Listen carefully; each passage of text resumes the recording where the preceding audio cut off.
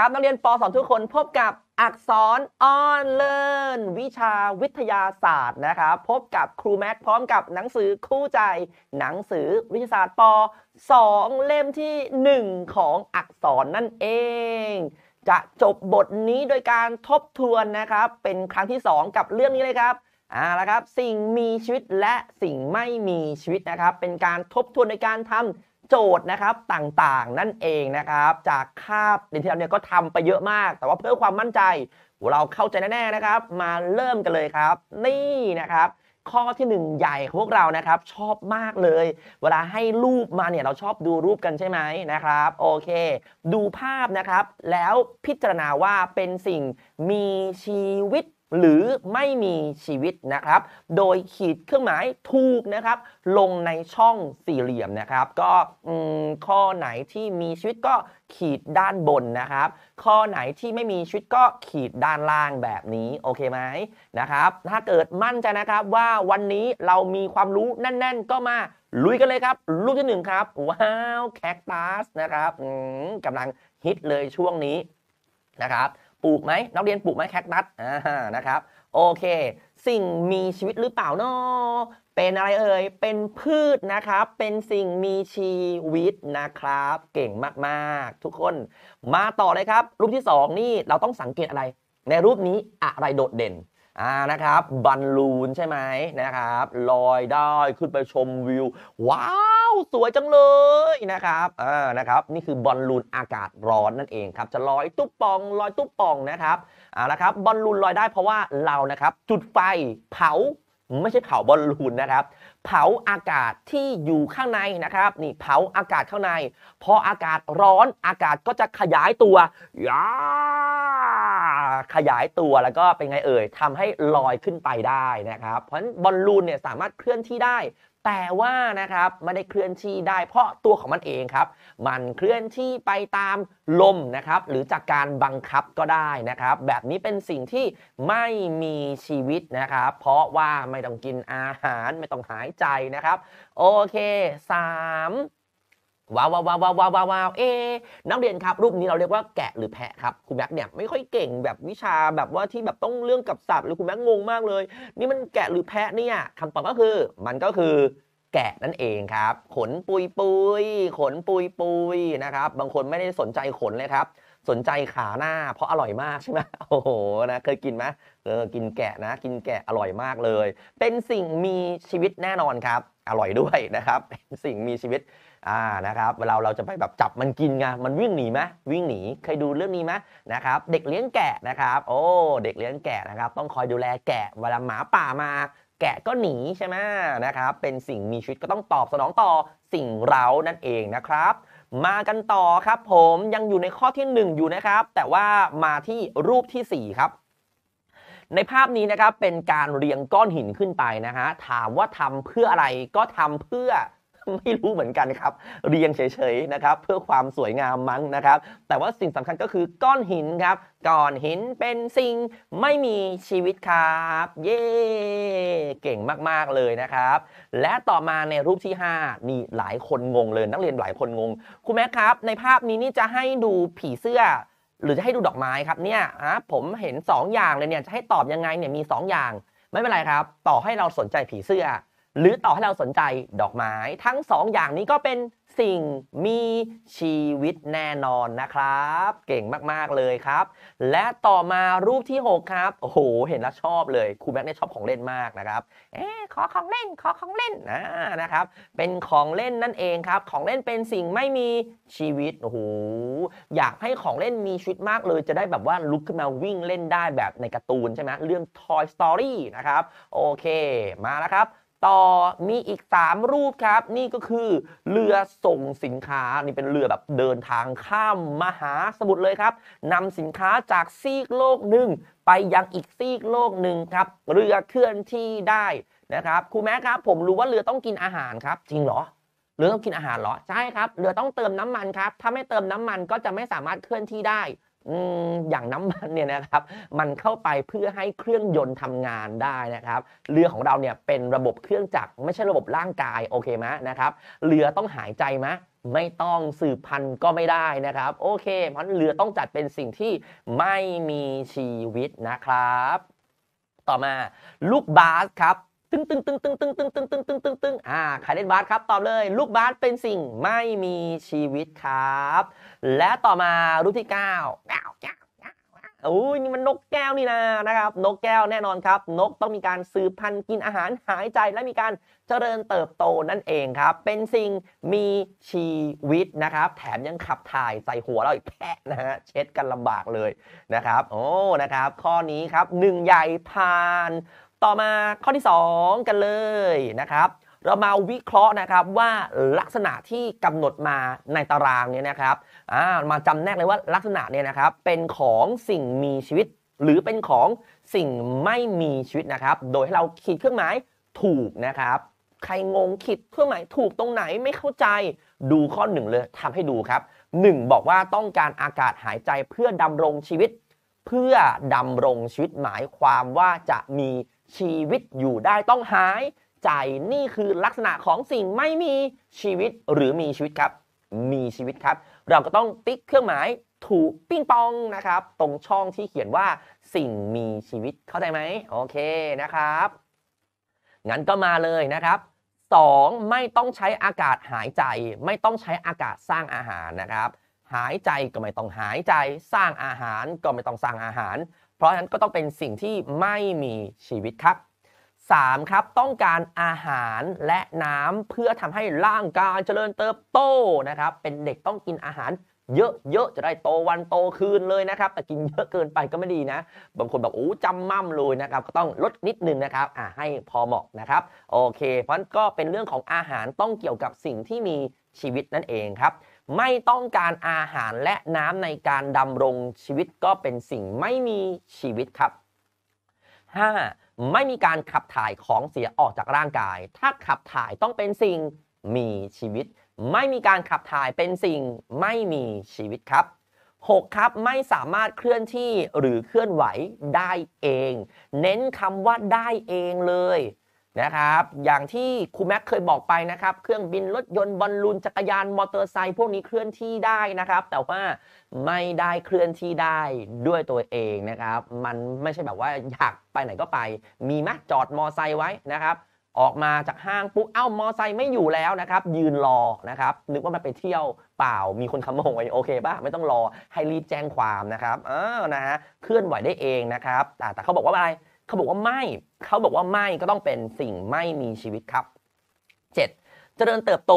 เรื่อยๆนะครับ ก็มีการหยุดด้วยเมื่อโตเต็มวัย อันนี้เป็นสิ่งมีชีวิตนะครับ8ครับมีลูกมีหลานนะครับมีลูกมีหลานเป็นการรักษาเผ่าพันธุ์ก็คือการสืบพันธุ์นั่นเองนะครับอย่างเวลาต้นไม้ของเราขยายพันธุ์สืบพันธุ์นี่ถือว่าเรียกว่ามีลูกมีหลานไหมก็ได้คล้ายๆกันนะะยอมยอมยอมยอมยอมยอมโอเค ได้เหมือนกันนะครับ 9ครับสืบพันธุ์เพื่อขยายเผ่าพันธุ์เอ้าความหมายเดียวกันเลย สืบพันธุ์เพื่อขยายเผ่าพันธุ์ก็เป็นสิ่งมีชีวิตครับนะครับ10ครับไม่มีการตอบสนองต่อสิ่งเร้านิ่งเลย เดินไปตีมันมันนิ่งนะครับเดินไปดุมันมันก็นิ่ง เดินไปคูมันมันก็นิ่งใส่เป็นสิ่งที่ไม่มีชีวิตครับ ง่ายมากๆเลยนะครับ ทีนี้ถ้าเกิดเราทำข้อที่ 2 เสร็จแล้ว ข้อที่3นะครับต้องใช้ข้อมูลจากในข้อที่ 2 ข้อนี้นะครับในการนะครับทำนั่นเอง เพราะข้อที่ 3 บอกว่าให้เรานะครับเปรียบเทียบลักษณะความแตกต่างของสิ่งมีชีวิต และสิ่งไม่มีชีวิต โดยการรวบรวมข้อมูลจากข้อที่ 2 ลงในตารางนะครับ เราก็มาวงคำว่าแตกต่างครับโอเค วิธีการทำนะครับครูแม็กขอทำให้ดูอย่างนี้ครับว่า ถ้าเป็นสิ่งมีชีวิตนะครับนี่ สิ่งมีชีวิตต้องการอากาศหายใจก็คือ 1 ใช่ไหมครูแม็กก็ขอเขียนหมายเลข1แล้วกันนะครับ หมายเลข1อ่าหมายเลข1เพราะฉะนั้นถ้าเป็นสิ่งไม่มีชีวิตก็ต้องไม่ต้องการอากาศหายใจ เอาข้อไหนมาใส่ดีนะ ก็คือข้อนี้ครับ ข้อที่ 2 เห็นไหมข้อ1เนี่ยเป็นสิ่งมีชีวิต ข้อที่ 2 เป็นสิ่งไม่มีชีวิตนะครับ ซึ่งพูดถึงเรื่องของการหายใจทั้ง 2 ข้อเลยนะครับ เพราะฉะนั้นคุณแม่ก็จะเอาข้อ 1 มาใส่ในสิ่งที่มีชีวิต และเอาข้อที่ 2 มาใส่ในสิ่งที่ไม่มีชีวิตนะครับ และนักเรียนก็นะครับเขียนเต็มๆนะว่าข้อที่ 1 คืออะไรเอ่ยข้อ 1 คือต้องการอากาศหายใจเพื่อการดำรงชีวิตนะครับนำมาเขียนตรงนี้นะเขียนลงไปนะครับ ส่วนข้อ 2 ก็เขียนว่าอะไรเอ่ยข้อ 2 ก็เขียนว่านะครับไม่ต้องใช้อากาศหายใจ และก็ไม่ต้องใช้ อากาศในการสร้างอาหารนะครับ ก็เขียนลงมาต่อตรงนี้นะครับ แต่ว่าคุณจะเลือกมาเป็นข้อๆให้นักเรียนนะครับ ถ้าเกิดใครอยากเข้าใจนะครับ ก็ลองมาช่วยกันเลือกดูนะครับ ข้อที่นะครับตรงกันข้ามกันก็คือนี่เลย ข้อที่ 3 บอกว่าต้องการอาหารใช่ไหมส่วนข้อ 4 บอกว่าไม่ต้องการอาหารครับงั้นก็นำข้อ 3 นะครับ มาใส่ฝั่งนี้ จุดจุดจุดจุดต้องการอาหาร และนำข้อที่ 4 มาใส่ฝั่งนี้ จุดจุดจุดจุดจุดไม่ต้องการอาหารครับ มาต่อเลยครับ มาต่อเลยครับ เอาที่แบบตรงกันข้ามกันเลยนะ มีไหมมีไหมอ่านะครับ ก็จะมีข้อที่ 5 เรื่องของการขับถ่ายนะครับข้อที่ 6 เรื่องเคลื่อนไหว ข้อ 7 เรื่องการเจริญเติบโตนะครับ ข้อที่ 8 เรื่องมีลูกมีหลาน ข้อที่ 9 นะครับ เป็นเรื่องของการสืบพันธุ์ ข้อที่ 10 เป็นอ่าไม่มีการตอบสนองต่อสิ่งเรานะครับ เพราะฉะนั้นอันนี้อาจจะไม่ตรงข้าม แต่ว่าเราก็เอามาใส่ให้ครบล้วกันเนอะนะครับ เมื่อกี้เนี่ยเราเอา 1 ตรงข้ามกับ 2 นะ แตกต่างกันแบบตรงข้ามเลยนะครับ3กับ 4 ก็แตกต่างกันแบบตรงข้ามเลยนะครับ ต่อมาถ้าเป็นข้อที่ 5 6 และ 10 นะครับ จะเป็นของสิ่งไม่มีชีวิตครับ 5 6 และ 10 นะครับ เป็นของสิ่งไม่มีชีวิตครับ ส่วนนะครับสิ่งมีชีวิตก็จะมีอะไรเอ่ย7 8 และก็ 9 นั่นเองครับ 7 8 และก็ 9 นะครับ ก็ถ้าเกิดใครนะครับ ใส่ให้เรียบร้อยเป็นตัวเลขแล้ว ไปเขียนประโยคเต็มๆเอาไว้ด้วยนะครับ แทบจะบอกว่าข้อที่3เนี่ยเป็นข้อที่รวบรวมข้อมูลทั้งหมดในบทนี้เอาไว้ด้วยกันเลยทีเดียวนะครับ โอเค เสร็จเรียบร้อยต่อมาข้อทีสี่4 บอกว่าให้เราดูภาพครับ แล้วก็อ่านข้อความแล้วก็ตอบคำถามนะ โอเคครับ ภาพทีหนึ่1 ก็คือภาพของรถยนต์นะครับ แอบดูยี่ห้อ คุณแบบชอบแอบดูยี่ห้ออ่ายี่ห้ออะไรเอ่ยฮุนไดนะครับบางคนเห็นตัว H นึกว่า Honda นี่ฮุนไดนะนะฮะรถยนต์สัญชาติเกาหลีใช่ไหมนะครับผมรถยนต์เคลื่อนที่บนถนนได้นะครับ ดังนั้นรถยนต์จัดเป็นสิ่งมีชีวิตข้อความนี้ถูกไหมมั่นใจเลยครับ เพราะตัวอย่างนี้เราพูดกันมาแล้ว 87 รอบนะครับว่ารถยนต์ไม่ใช่สิ่งมีชีวิต แต่เขาบอกว่าเป็นสิ่งมีชีวิต งั้นมอบให้เลยครับ ไม่ถูกต้องอ่าเพราะรถยนต์ไม่ได้เคลื่อนที่ด้วยตัวเองครับ รถยนต์ไม่ได้เคลื่อนที่ด้วยตัวเอง มันเคลื่อนที่ได้เพราะเราไปทำไมเอ่ย เราไป เหยียบคันเร่งใช่ไหมอ๋อไม่ได้เคลื่อนที่ด้วยตัวเอง แล้วก็ไม่ได้ต้องการอาหาร ไม่ต้องการอากาศหายใจ ไม่ได้ต้องการน้ำนะครับ ไม่ได้ต้องการเจริญเติบโตนะครับ อยู่นิ่งๆไปคันเท่าเดิมไปเจริญเติบโตได้ไหมไม่ได้นะครับต่อมาข้อที่ 2 ครับ รูปนี้โอ้ปลูกต้นไม้แหมสองคนนี้สองคนนี้อันแน่ปลูกไปก็แอบเหลไปนะครับมือโดนกันหรือเปล่าเนี่ยนะครับ รูปนี้ให้เราสังเกตตรงต้นไม้นะครับ สังเกตตรงต้นไม้นะครับ โอเคครับ บอกว่าต้นไม้เคลื่อนที่เองไม่ได้ ดังนั้นต้นไม้จัดเป็นสิ่งไม่มีชีวิต ผิดแน่นอนครับ ต้นไม้เนี่ยต้องเป็นสิ่งมีชีวิตนะครับ เพราะต้นไม้สามารถเจริญเติบโตได้ เออ จุดเด่นเลยครับ สามารถเจริญ เติบโตได้ครับผม ต่อมารูปที่ 3 ครับ โอ้ดูสิลูกแมว ลูกแมวลุมกินแม่แมวไม่ใช่นะครับอันนี้ลูกแมวไม่ได้กินแม่แมวครับ ลูกแมวกินนมครับแม่แมวเป็นไงเพลินเลยครับ ลูกก็ดูดนมไปฮะจบจบจบจบแม่แมวก็หลับครับ ผม ลูกก็กินไป ดูรูปนี้ดีนะครับ มีดูลูกแมวมีกี่ตัว ดูยากมากนะครับ เป็นภาพแบบว่าที่ดูลำบากมาก นับได้ ไม่ใช่ 3 ตัวนะ นี่ตั้งกี่ตัวรู้ไหมตั้ง 5 ตัวเอาแบบชัดๆเลย 1 นี่ ตัวนี้บนสุดเลย 1 ตัว 1ตัวนะครับสองสองนี่เห็นหัวไหมหัวสองนี่ตรงนี้สองนะครับสองสามสามนี่สามเอ่สามสี่นี่นี่นี่หูหายไปข้างหนึ่งนะครับบางคนตอบมีสี่ตัวไม่ใช่คำตอบคือมีห้าตัวนี่ มีตัวหนึ่งแทรกอยู่นี่นี่อยู่นี่อ่าตัวหนึงแทรกอยู่นี่นี่นี่นี่นี่นี่อ่าคือหัวมันมุดอยู่ข้างในนะครับ ถามว่าสำคัญไหมมานั่งนับเนี่ยไม่สำคัญนะครับ นับเล่นๆ โอเค มาอ่านตรงนี้สิสำคัญกว่าเห็นไหมเนี่ยแม่แมวมีลูกแมวหลายตัว ดังนั้นแมวจัดเป็นสิ่งมีชีวิตตอบว่าถูกต้องครับ เพราะว่าสืบพันธุ์ได้นั่นเองครับ สืบพันธุ์ได้นะฮะสืบพันธุ์ได้นะครับ โอเค เรียบร้อยนะครับ เพราะฉะนั้นนะครับในคาบเรียนนี้เนี่ยเราก็ทำนะครับ โอ้โหทำโจทย์มา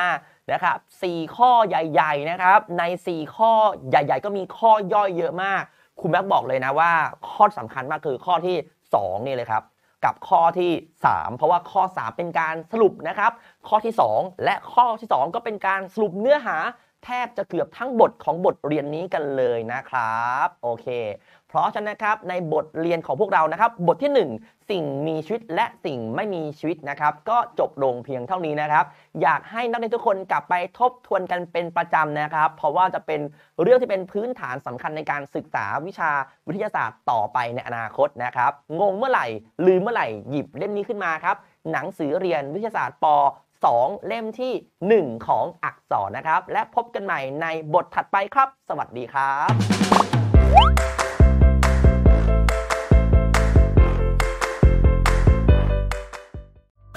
อย่าลืมกดติดตามและกดกระดิ่งเพื่อไม่ให้พลาดสาระความรู้ดีๆ จากพวกเราอักษร Education